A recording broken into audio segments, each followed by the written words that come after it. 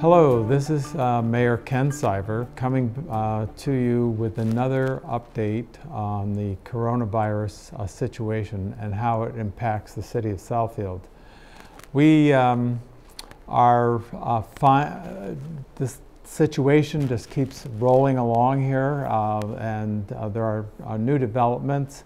most of you, I'm sure, are aware that the state and specifically the governor, uh, has uh, tightened the uh, number of social interactions, uh, keeping social distance, and that means that um, now restaurants, um, bars, casinos are, are closed.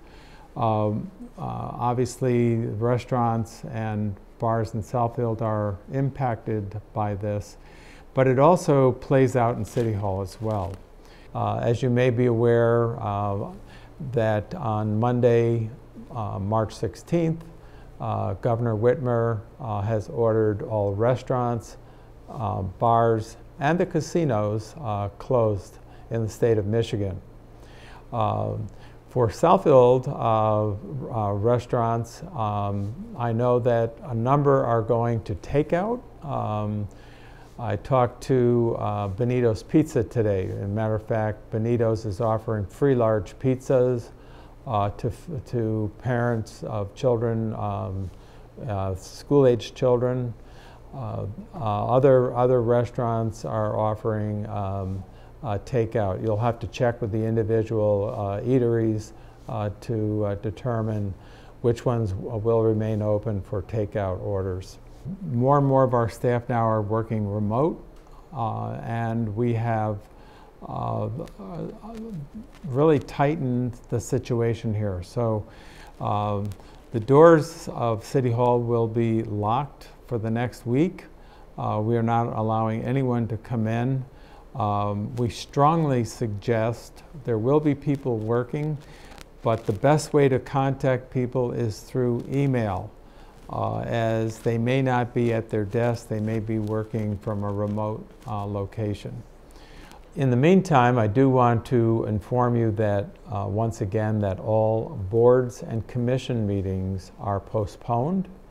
And this includes other events. Uh, for instance, there was a Skywarn class, there were Parks and Rec classes and programs that now have been either canceled or postponed. Um, and that um, our library is totally closed uh, and all events at the library uh, have been postponed.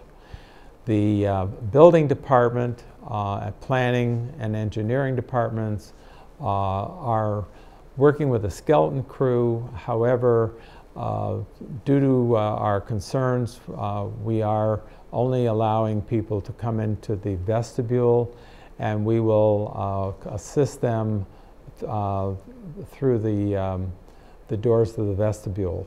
Uh, uh the building department inspections of multifamily uh, units, apartment buildings in other words, uh, have been suspended for now.